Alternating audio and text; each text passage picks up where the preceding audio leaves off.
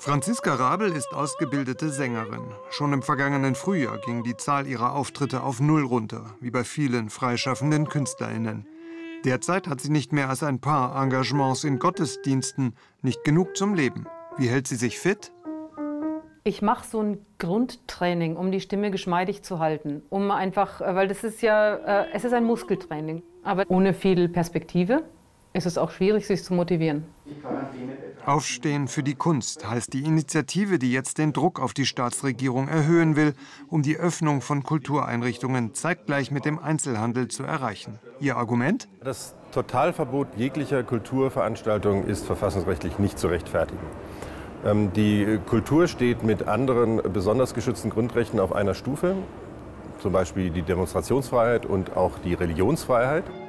Die Kunstfreiheit dürfe nur eingeschränkt werden, etwa wenn eine gesundheitliche Gefahr von einer Kulturveranstaltung ausgehe, tue sie aber nicht, wenn Hygienekonzepte und Kapazitätseinschränkungen beachtet würden, meint Hertel und verweist auf zahlreiche Studien. Sein Mitstreiter Christian Gerhaher sagt, Kulturveranstaltungen seien nicht vergleichbar mit Bordellen, Nagelstudios oder Freizeitbädern.